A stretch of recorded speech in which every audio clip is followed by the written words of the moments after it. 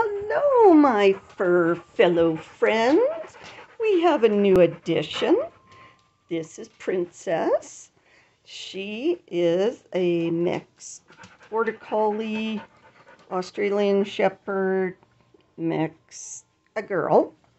She just had her shower, which is something we always do when we first get a new rescue, as they give them a bath and we give them flea treatment just in case. She's a little, hey, Comet, she's a little bigger than Comet, a little overweight, but she does seem to be very sweet. Hi, she does know some things. She does know how to sit and shake a paw, and she loves her treats. Comet loves her. He's like, girl, hi, girl, hi, girl. Yes, we are going to have a good time. Her and Sheila seem to get along pretty good. So they'll have fun running around in the yard. Boy, you look so much better.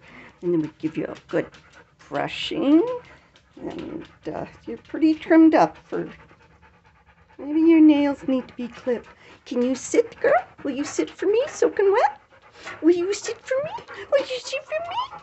Yes, you sit for me. Oh, thank you. Need to rub. She's rubbing up against me. I, there's a towel on the floor for you to rub. Oh, yes, you're soaking wet. You like feel it. I feel it after my bath. Okay, come here. Come here. There's a towel on the floor. No, not outdoor. Come here. Come here, come here, come here, come here. Come here. Rub on the floor. There, there's the blanket. There's the blanket. That's her tail knocking on the door. I'm trying to get her to rub her nose in the blanket. No fighting. No fighting, good girl. Comet? Yes. She smells awesome. You're looking good. You're looking good. And you're looking good. Both of them are big babies. Well, hmm, let's see how things go. Anybody interested in adopting her? She, I have a hold on her for a farmer friend of mine.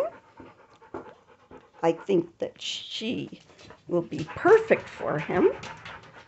Then other than that, we'll see what happens. Thanks for watching.